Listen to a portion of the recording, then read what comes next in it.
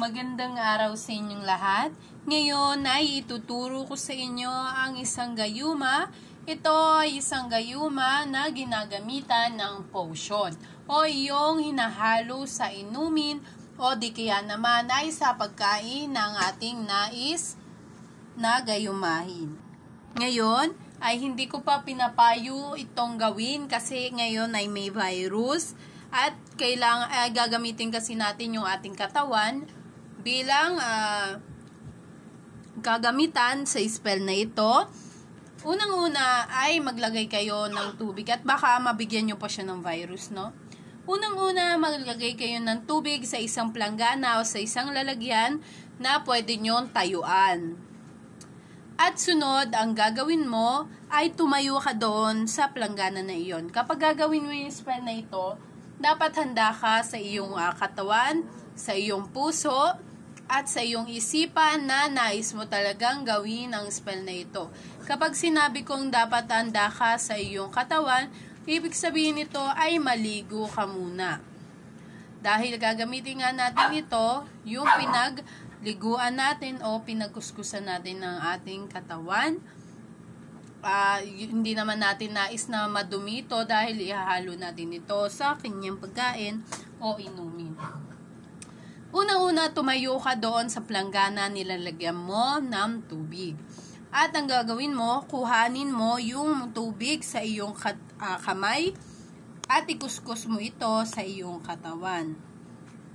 Lalo na sa iyong mga masiselang katawan at sa pati sa iyong dibdib. Kung ikaw naman ay lalaki sa iyong maselang parte ng katawan at sa basta sa iyong katawan, kuskusin mo ang iyong sarili. Habang ginagawa mo ito ay iniisip mo ang taong ito at ang nais mong maging epekto ng spell na ito. Mag-iingat ka, huwag mong ihilingin na maging mahal na mahal ka niya o ma-obsess siya ng todo sa iyo dahil baka hindi mo ito magustuhan. Sabihin mo o isipin mo lamang rito kung ano ba yung nais mong gawin niya sa iyo. Halimbawa, gusto mong sweet siya sa iyo, mahalin ka niya ng buong puso. Ganun po. At kung ayaw mo na, ay ititigil niya na ito. Kasi ito ang isa sa mga pagkakamali, no? Ang hinihiling nila ay hindi na sila iwan pa magpakailanman. Ngayon, kahit ayaw na nila, ay ayaw na silang tigilan. Ngayon, ilagay nyo ito sa isang lalagyan, gaya nito. Sara mo ito, no? Para hindi ito malagyan ng mga dumi-dumi.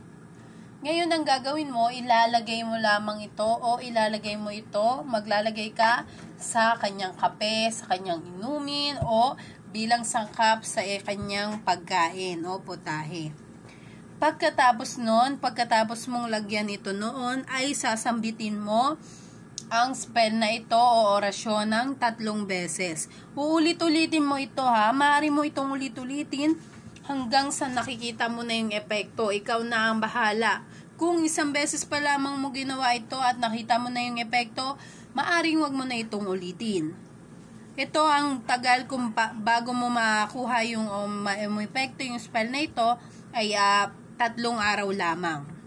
Ito ay gagawin tuwing kabilugan ng buwan o di kaya naman ay tuwing lunes at webes lamang. Ito ang orasyong sasabihin mo. Huwag kayong magalala, ilalagay ko rin ito sa ating description. Lumayam, lumayom, luhal, mahalam, salwamam, salwi, salwa. Ito ay pabulong lamang ha. Sasambitin mo yung orasyon na yon ng tatlong beses at isang beses naman para dito. Orom, luma, oram, paluma, paho, egoso. Pagkatapos nun ay hihipan mo yung putahin na yon o inumin at ang gagawin mo ay ibabibigay mo ito sa kanya. Siguraduhin mo na ubusin niya ito. Hindi naman kailangan ubusin, ngunit dapat ay madami ang mainom niya rito. Sana'y nakatulong sa inyo ang video na ito. Pinapaalala ko lamang, ito ay binabahagi lamang namin sa inyo ang aming kaalaman at nasa sa inyo na kung nais nyo bang gawin ang bagay na ito. Kung nais nyo nga ba na ang kanyang pagmamahal, ganoon nga ba kayo? uh, ganoon yung nga ba kagusto ang kanyang pag-ibig na kahit hindi niya na ito nais o hindi niya na ito nais ibigay sa inyo, ay kukuhanin nyo pa rin. Ito ay maaari nyo namang gawin, kayo ang bahala.